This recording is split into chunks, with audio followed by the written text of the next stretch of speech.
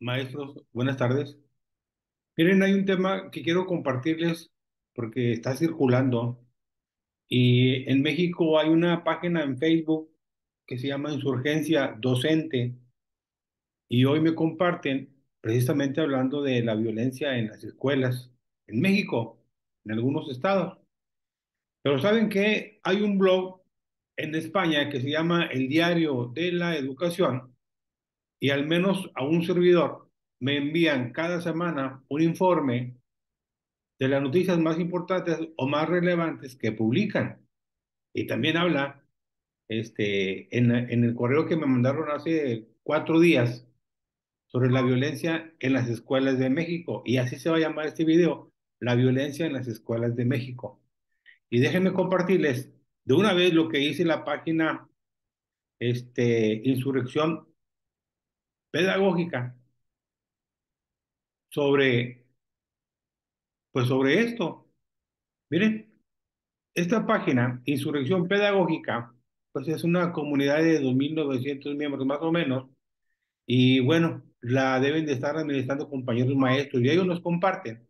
Nos dicen que el crimen de Norma Lisbeth ocurrido hace unas semanas ha desatado un sinnúmero de reflexiones y análisis sobre lo que está sucediendo al interior de las escuelas en la actualidad. No es solamente la secundaria del Estado de México donde pasó ese crimen. También en planteles de Veracruz, Puebla, Michoacán, Guanajuato, Morelos, Zacatecas y demás entidades federativas. Es común que ocurran actos de violencia similares, no solo en secundaria, también en primaria y educación media superior.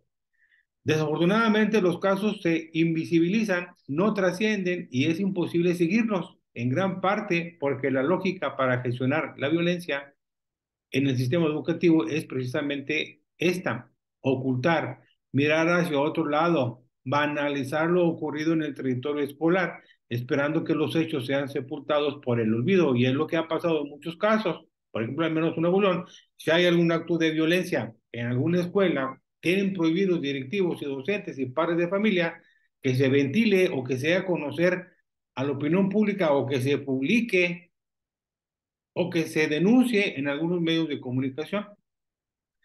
Desde la tribuna de Palacio Nacional, el titular del Ejecutivo Federal alienta esta banalización moralizando el tema. Es muy importante que no se desintegren las familias y que no abandonemos nuestras costumbres, nuestras tradiciones, que no aceptemos una malentendida modernidad de que ya nuestros padres son mayores y tienen ideas conservadoras o son anacrónicos y que ahora la buena onda es el destrampe, los excesos y los antros. Y sin ningún asomo de preocupación o interés por actuar concreta y contundentemente por parte del Estado que representa, sin aludir la responsabilidad de las autoridades educativas nacionales, estatales y municipales al respecto y que cuando es él quien desde la tribuna incita la violencia contra los conservadores, bueno, esto es algo de política, pero lo que sí es cierto es lo que está pasando en muchas escuelas secundarias. Hay muchos casos de, de jovencitas de secundaria que se golpean afuera de la escuela o adentro del salón, los mismos alumnos, los mismos alumnos o los mismos compañeros los están grabando, incluso los mismos docentes los están grabando. Esto es, esto es algo que sí es preocupante porque no es suficiente con la bronca de, de las adicciones. Ahora que se vaya a aplicar la estrategia en el aula prevención de adicciones a partir del 17 de abril, bueno, ese es un problema, pero hay más que es la violencia en las escuelas de México.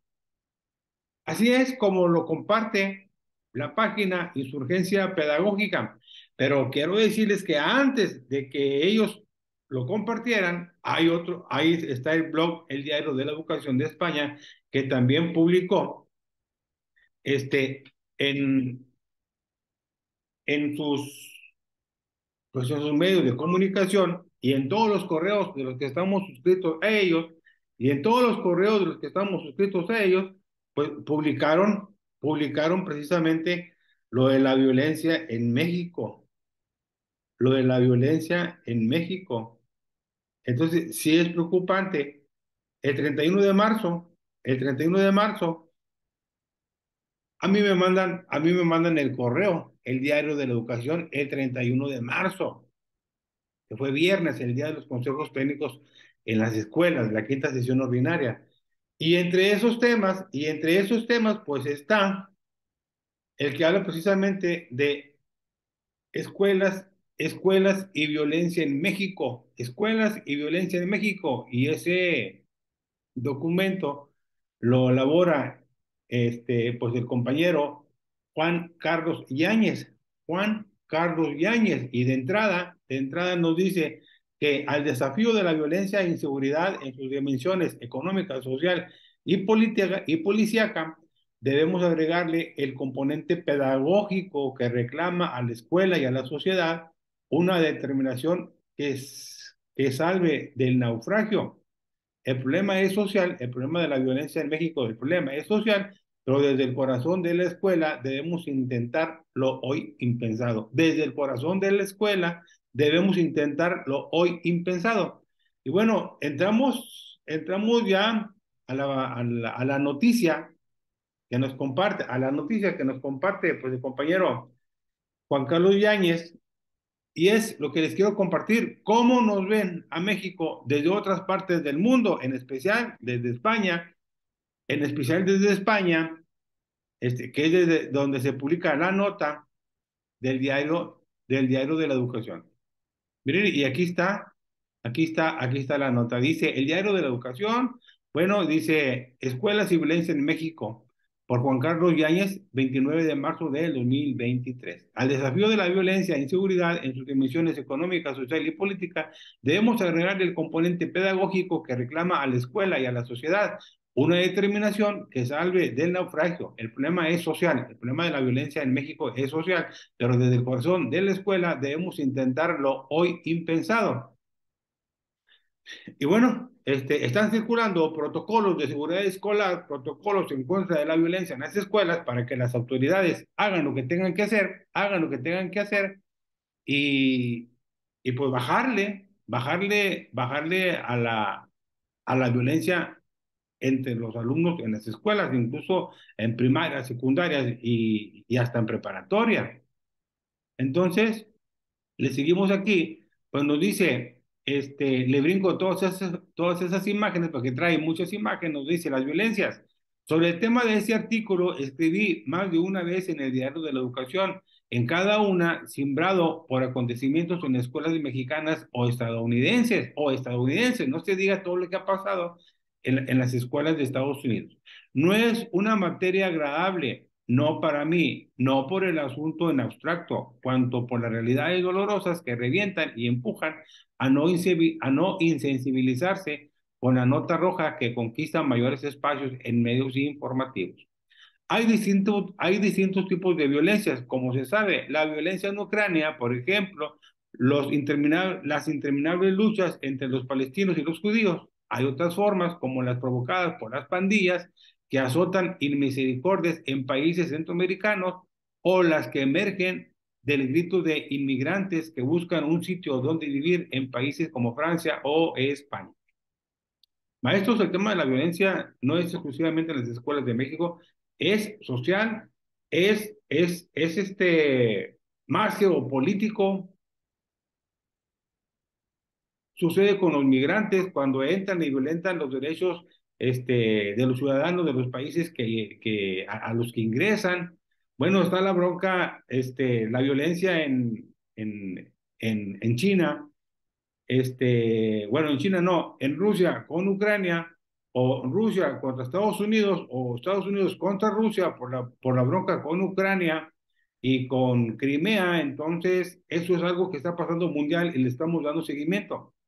Eh, la violencia, pues, aparte, aparte de que es física, pues es mental, es psicológica y y bueno, hay muchas otras variantes de violencia, pero lo que nos comparte el compañero de, de España, del diario de la educación, pues sí nos dice todos los tipos de violencia, como se sabe, y nos recuerda que hay una violencia en Ucrania, están una violencia que lleva años entre Palestina y, y, y Israel, y hay otras provocadas por pandillas, eh, no se diga la violencia de los grupos criminales, y hay otras que emergen del grito de inmigrantes que buscan un sitio donde vivir en países como Francia o España, pero también aquí hay, aquí hay inmigrantes en México. Dice también hay violencias menos estridentes, pero mortíferas, como la violencia del hambre y la desigualdad en naciones como Haití o la de África subsahariana. Esa también es una forma de violencia. Aunque esta variante no es exclusiva y campea casi por todas partes, así sea Sudáfrica o Asia Meridional. Violencias en, violencias en grados salvajes. Fíjense, violencias en grados salvajes. Si las otras no lo son, sufren las mujeres en muchas áreas del mundo. Misma suerte sufren otros grupos humanos por ser distintos. En fin, la violencia de la humanidad se ha escrito en la carrera entre civilización y barbarie. Fíjense, la violencia, la historia de la humanidad se ha escrito la historia de la humanidad se ha escrito y es la carrera entre civilización y barbarie. ¿Cómo estamos ahorita? ¿Somos, somos un pueblo civilizado o somos un pueblo en donde existe o abunda la barbarie? Ahora quiero determinarme, dice él, en otra expresión de la violencia, la producida por la economía del narco que va saltando de país en país y donde encuentran condiciones propicias, se instala larga y nocivamente.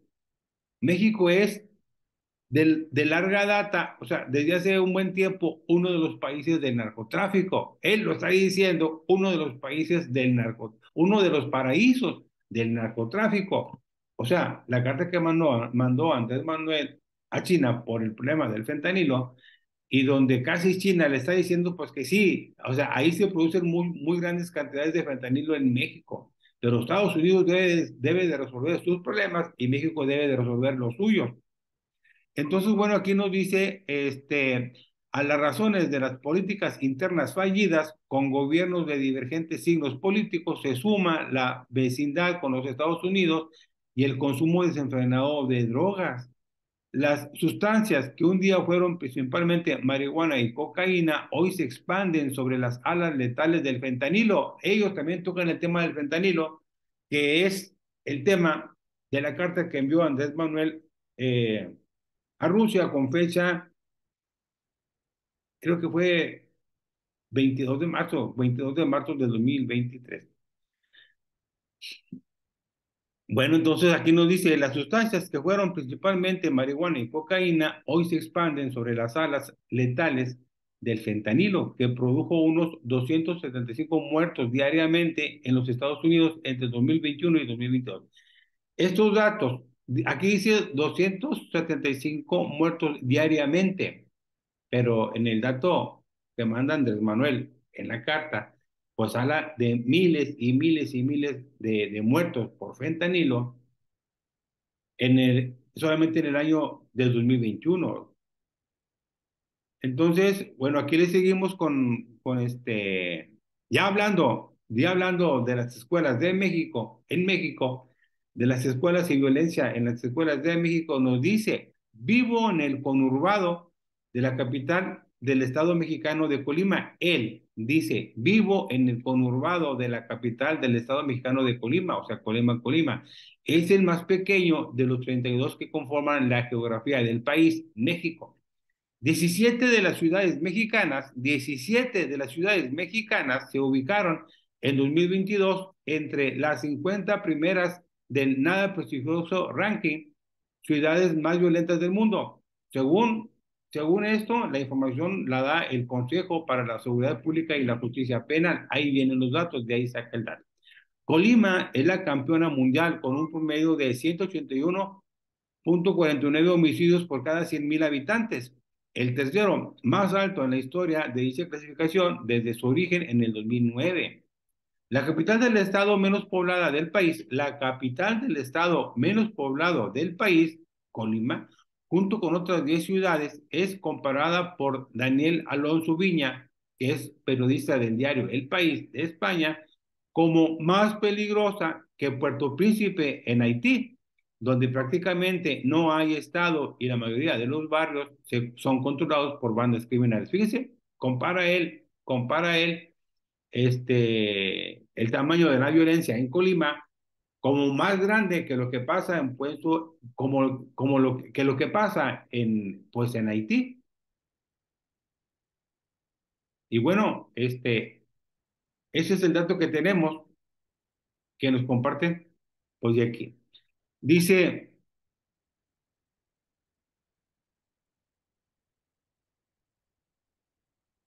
Bueno, dice la capital del estado menos poblado del país, o sea, Colima, Colima, dice, junto con otras 10 ciudades, es comparada por Daniel Alonso Viña, periodista de El País, de España, como más peligrosa que Puerto Príncipe, Haití, donde prácticamente no hay estado y la mayoría de los barrios son controlados por bandas criminales. Su conclusión es contundente. La conclusión de Daniel Alonso Viña, periodista de El País, su conclusión es contundente. Esa ciudad, sin agua potable y sin ejército, es más segura, o sea, Puerto Príncipe, Haití, es más segura que las mexicanas, o sea, que Colima, que Zamora, Michoacán, que Ciudad Obregón, Sonora, Zacatecas, Tijuana, Celaya o Uruapan. Vivir en Colima fue durante décadas motivo de orgullo por su belleza y riqueza naturales, por la tranquilidad, nivel de vida y apreciada calidad educativa. Mucho de ello se desportilló en los años más recientes y acentuó su deterioro en los meses del nuevo gobierno local, promotor de la política de seguridad nacional que ofrece cuentas, que ofrece cuentas pésimas en el resto del país. Entonces nos da aquí las ciudades este, donde hay más violencia en México, como son Colima, Zamora, Michoacán, Ciudad Obregón, Sonora, Zacatecas, Tijuana, Celaya o Uruapan. En estas semanas, y nos sigue diciendo, en estas semanas se presentó un hecho inédito en algunas escuelas, cartulinas presuntamente de grupos narcotraficantes denunciando y amenazando a sus rivales. Ese, ese tipo de materiales mal escritos, descuidados, son comunes, a veces aparecen pegadas a los cuerpos de, las, de los victimados en jardines o espacios públicos, pero las escuelas, pero las escuelas no habían sido elegidas para intimidaciones. Aquí ya nos habla de que ya se están empezando a meter a las escuelas. La educación es siempre una apuesta por la paz, la formación ciudadana, la convivencia y la civilidad. Para cumplir su cometido, debe estar, debe estar abrigada ella y tener certidumbre de seguridad. Estamos hablando de la educación. La educación es siempre una apuesta por la paz, la formación ciudadana, la convivencia y la civilidad. Y para cumplir su cometido, la educación debe ser abrigada ella y tener certidumbre de seguridad. Miren, ya se va a acabar este documento porque nos dice, ya para terminar, la decisión de las autoridades de la primera escuela en la que aparecieron fue inmediata. Suspensión de actividades, abandono del plantel y retorno a las clases remotas, mientras el edificio era resguardado por militares. Otra cartulina en un centro de enseñanza secundaria amenazó a un directivo. Los medios locales tomaron el asunto y consultaron a padres y madres, maestros del sindicato magisterial. Las respuestas son, son calcadas. Dijeron lo mismo, este, hay temores, hay incertidumbre y hay una exigencia de seguridad al gobierno. Y la contestación oficial es demagogia pura. La contestación oficial es demagogia pura. ¿Es posible enseñar en entornos así? ¿Pueden tener alguna tranquilidad mamás y papás, el magisterio y los propios estudiantes sabiendo que puede ocurrir algún incidente violento en una ciudad donde hay ejecuciones en avenidas concurridas y a cualquier hora? La educación es siempre una apuesta por la paz, la formación ciudadana, la convivencia y la civilidad, y para cumplir su cometido debe estar abrigada ella y tener certidumbre de seguridad en el entorno. Bueno, fue la cita que leímos hace rato. Las escuelas no podrán ser islas seguras en un archipiélago de violencia. Fíjense, las escuelas no podrán ser islas seguras en un archipiélago de violencia, parafraseando a Rafael Simone, o no lo podrán ser todo el tiempo y en cualquier circunstancia. No lo, no lo están siendo ya. Si la escuela es el espacio republicano, fíjense, si la escuela es el espacio republicano más relevante en la construcción de ciudadanía, su protección es una acción pública de prioridad mixta. Como sabemos, el presidente, el, como sabemos, el presidente de las escuelas es el futuro de las sociedades. Este clima turbio y violento queremos perpetuar en nuestras escuelas y sociedades No hay una solución mágica, instantánea ni definitiva para el problema de la violencia social, menos desde el territorio de la escuela, pero soslayarla como realidad con una dimensión pedagógica o profundizar inercias puede conducir a una indefensión peligrosa también para los propósitos educativos. A la acción gubernamental insustituible y exigible deben acompañar las estrategias novedosas en el clima escolar. Una intervención de sus, de sus protagonistas es también deseable. Maestros y directivos por un lado, estudiantes y maestros en otro ámbito y todos ellos con las familias. O sea, toda la comunidad escolar, toda la comunidad escolar debe de buscar estrategias novedosas para bajarle a esta violencia en las escuelas. Escuela y violencia son antitéticos en una sociedad democrática, aunque diferentes manifestaciones de violencia afloren en los centros escolares.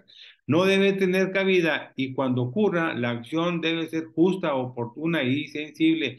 Todos estamos lejos de lograrlo. Mientras escribo los párrafos finales, fíjense, mientras escribo los párrafos finales, leo que un estudiante de secundaria de 14 años murió a consecuencia de los golpes con piedra propinados por una compañera a la salida de clases afuera de la escuela. Ese caso fue muy sonado y fue muy, eh, fue muy publicado.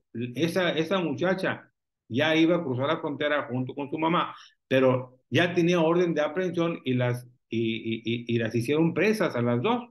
Y la mamá, sabiendo que su hija había, había asesinado a una compañera, su mamá se hace cómplice tratando de ocultarla y de llevársela. La señora también tiene por ahí una culpa.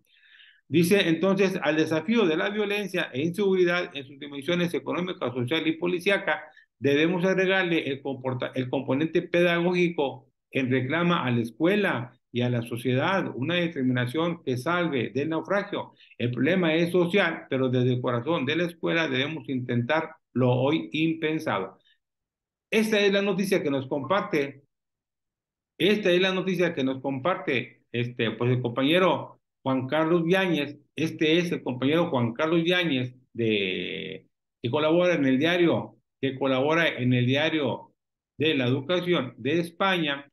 Y, y bueno, quise compartirles yo este tema porque pues no es nada más el problema del fentanilo que va a ser un tema no es nada más el problema del fentanilo que va a ser un tema a partir del 17 de abril que regresemos a clases. Dice, dice él, dice, somos la única entidad sin ánimo de lucro del país que nos dedicamos al periodismo. Nosotros no podemos, nosotros no pondremos muros de pago, pero necesitamos ser mil suscriptores para seguir creciendo. Bueno, esto lo pulsan aquí y dejan para hacer comentarios. Esta información se las dejo es muy importante este, pues platicarlo. Existen protocolos de seguridad escolar, protocolos en contra de las violencias, protocolos a favor de los derechos de niñas y niños este, en las escuelas de México y todos los directivos, todos los padres y todos los maestros y todos los alumnos deben de conocerlos, deben de conocerlos. Maestros son, no me marque aquí cuántos minutos llevamos en la, este, pues en la reunión, no me marque aquí ¿Cuántos minutos? Ah, sí, 24 minutos van a ser 25 minutos. Entonces, terminamos la grabación y compartan ese tema porque no es nada más el problema del fentanilo, también es la violencia en las escuelas de México. Este video también va para YouTube.